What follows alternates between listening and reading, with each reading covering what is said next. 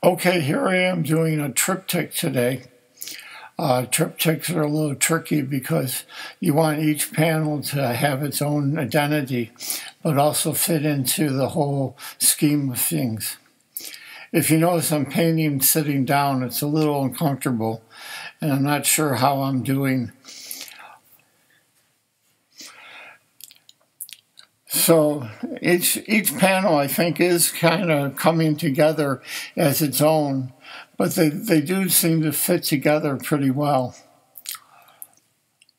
Also, I was wondering how how do oh there was Gracie there's Gracie again how people feel about the speeded up versions of the videos. Hope you enjoyed the painting. We'll see you soon.